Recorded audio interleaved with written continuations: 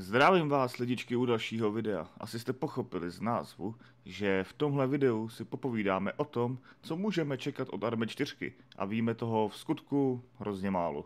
Protože víme vlastně jenom datum, že to bude v roce 2027. Asi se divíte, proč tady před sebou máme nějaký koncert, nějakou kapelu. Není to ledáká kapela. Bohemia Interactive teďka slavila 25 let a rozhodli se to oslavit živým koncertem, orchestrem, kde hráli různé skladby z různých her, ať už Vigoru, Army, DayZ a podobně. A na tomhle živém vysílání na konci tak byl představený, já nechci říct trailer, protože ono to je takový něco, no. Takový ústřižky. Podíváme se na to podrobnějš, ale moc toho nečekejte moc tam toho nevykoumáme v podstatě, i když to může být docela zajímavé informace, protože máme tady vidět nějaký nový ostrov, máme tam vidět asi tak nějak dobu, do jaké to bude zasazené a máme tam ten datum, že to vyjde v roce 2027. Já tady trošku budu jenom tuhle tu první část toho videa přeskakovat, protože tam je vidět v podstatě nějaký ten nový ostrov, nějaká ta nová mapa. Já se obávám, že možná dostanu copyright kvůli zvukům, tak to radši možná stlumím. Jinak je to nová píseň, nějaký nový soundtrack k tomu, k té armě 4, k tomu novému dílu. Každopádně tady před námi vidíme už teda nějaké záběry z toho nového ostrova. Ano, bude to asi dost podobné jako Everon, opět nějaká lesní mapa. A můžeme jenom hádat nebo typovat, jestli to třeba bude nějaká mapa z předchozích dílů opět, anebo něco úplně nového. Sválně si typněte do komentáře. Každopádně tu teda vidíme nějaký les. Jo, mimochodem, toto je prostě, nevím, co to má být, nějaký varhany, prostě přesto, nějaký vodoznak, já nevím, proč to tam je, ale je to tam. A tady už bude ta zajímavější věc. Někde. A to je tady. Tady vidíme zcela jistě naprosto něco, co není Everon. Takovýhle město, nebo takováhle vesnice na Everonu není. To prostě, mám to hodně projetý, takže mi věřte. Nedokážu identifikovat takhle z tohoto obrázku, jako jestli je to, říkám, nějaká narážka zase na nějakou starší mapu z Arma série, nebo spíš operace Flashpoint, nebo je to něco zcela úplně nového. Ale vidíme, že tady máme nějaký kostel tadyhle, vy to asi teda moc nevidíte, ale to je jedno. Tady vidíme, že nějaký JZDčko pravděpodobně. Vzadu těžko říct, co to má být, jestli to asi pravděpodobně nějaké hory. Tady vidíme nějakou další vesnici v pozadí. Ano, toto určitě není Everon. Co to je? Já nevím. To už zjistíme třeba někdy v budoucnu. Každopádně teda v této první části tohoto tak toho víc už vidět není. Takže OK, máme novou mapu.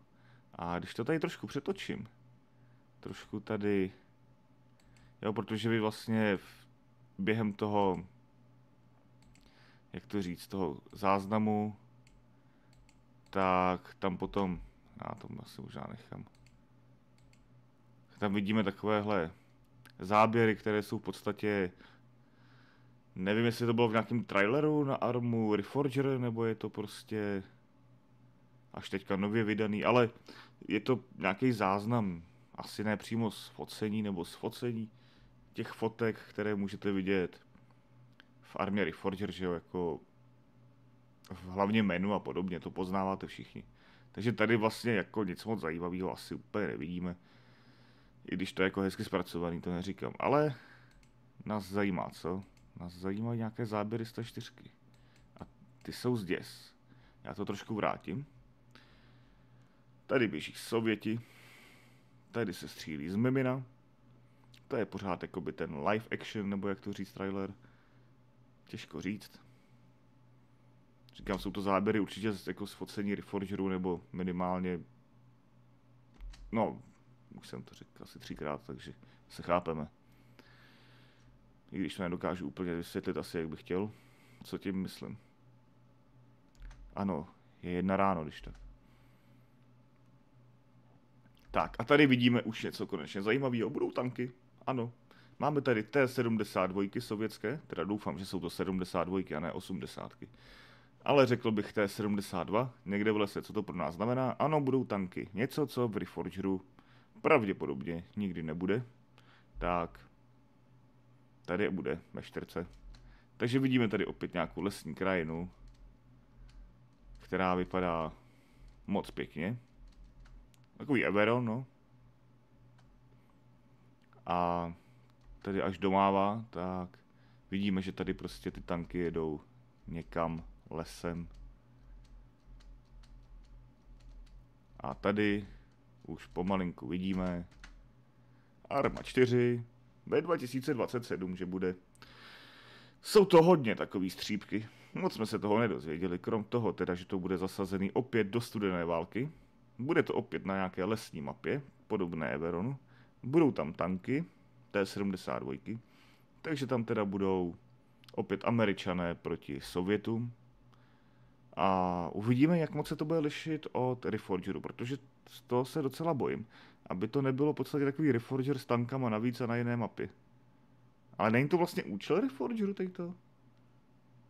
Já nevím, jsem takový na rozpacích.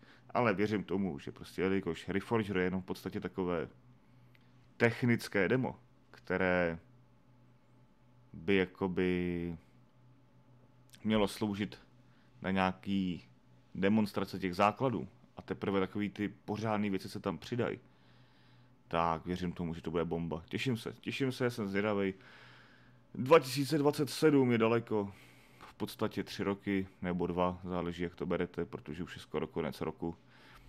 A to je daleko ještě, takže určitě se mezi tím dozvíme spoustu novinek. Já budu rád informovat o tom, co nového nás tady čeká v této čtyřce, jakmile zase něco se dostane na povrch, nějaká informace.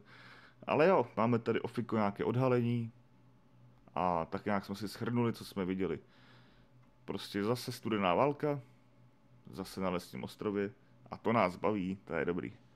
Já se na to těším, jsem na to zvědav. Sválně napište, co vy.